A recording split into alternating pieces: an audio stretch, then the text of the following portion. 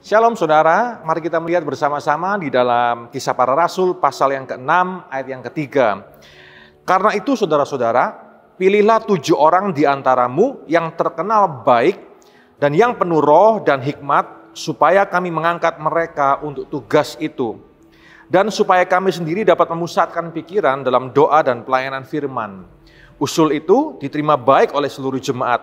Lalu mereka memilih Stefanus, yang kita tahu kemudian dia menjadi martir yang pertama, seorang yang penuh iman dan roh kudus, dan Filipus, Prochorus, Nikanor, Timon, Parmenas, dan Nikolaus, seorang penganut agama Yahudi dari Antioquia. Nah saat ini kita mau melihat tentang Nikolaus, siapakah dia? Ternyata kalau kita studi lebih dalam lagi, Nikolaus adalah seorang mantan pengikut agama kuno, agama pagan yang bernama Manicheanisme. Lalu kemudian dia berpindah iman lagi mengikuti agama Yudaisme. Dan ketika kekristenan bertumbuh, dia pindah lagi iman menjadi pengikut Kristus.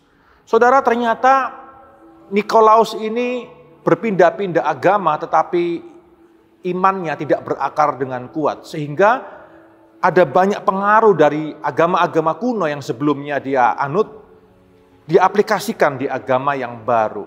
Akibatnya apa? Terjadi banyak pencemaran rohani dan dia menyesatkan banyak orang dengan pengajarannya. Dia menyesatkan banyak orang dengan khotbah-khotbahnya. Oleh karena itu, pesan firman Tuhan datang kepada kita ya, bahkan dikatakan dalam Wahyu pasal 2 ayat yang ke-6, tetapi ini yang ada padamu yaitu engkau membenci segala perbuatan pengikut Nikolaus yang juga kubenci. Pesan firman Tuhan untuk kita adalah yang pertama, jangan berbalik. Jangan kita menjual keselamatan kita. Kalau hari ini kita menerima anugerah keselamatan. Yang kedua adalah mari kita belajar firman Tuhan dengan benar supaya apa yang keluar daripada kita, apa yang kita ajarkan itu tidak menyesatkan orang lain. Mari kita terus bertumbuh di dalam kebenaran-kebenaran firman Tuhan yang luar biasa. Tuhan Yesus memberkati. Amin.